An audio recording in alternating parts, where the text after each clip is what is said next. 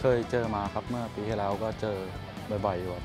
บอลทั้งบอลอุ่นเครื่องบอลเจลีกปีที่แล้วก็ได้เจอนะครับในรอบแบ่งกลุ่ม ผลปีที่แล้วแพ้เหมือนกันครับ เยอะเยอะครับจากปีที่แล้วแตกต่างอย่างเห็นได้ชัดเลยครับ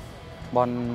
ปีที่แล้วก็ไม่ถึงขนาดนี้ครับ เจอกันรอบนี้ก็ถือว่าพัฒนาได้ดีขึ้นครับทั้งทีมเลยก็เป็นจังหวะเกมรับครับหละหลวมนิดหน่อยเคลียร์เคลียร์ไม่ขาดครับลูกที่โดน แล้วก็จังหวะจบขึ้นไปจบครับจบไม่ดีครับ พูดปลุกใจให้กำลังใจเพื่อนครับพยายามให้บอกให้เพื่อนใช้เสียงเยอะๆครับไม่เงียบไม่เหนื่อยครับ เล่นเวลายังไม่หมดครับ ก็บอกเพื่อนๆตลอดครับว่าให้ใช้เสียงกระตุ้นกันเยอะๆครับไม่เหนื่อยอย่าเพิ่งหมดสู้ต่อครับอย่าเพิ่งท้ออดให้อดทนครับในเกมจนกว่าเวลาจะหมดครับ ชอบของทีมซัปโปโรครับสมัยที่พี่เจชนาทิพย์ย้ายไปอยู่ครับ แล้วก็ได้ดูพัฒนาการของพี่เขาเรื่องการซ้อมของทีมที่ญี่ปุ่นกับทีมที่ไทยครับว่าแตกต่างกันอย่างไร แล้วก็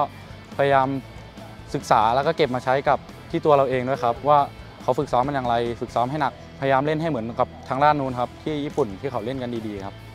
พวกผมก็ไม่ได้มาเล่นๆกันครับนัดหน้าฝากด้วยครับอย่าประมาทผมนะครับ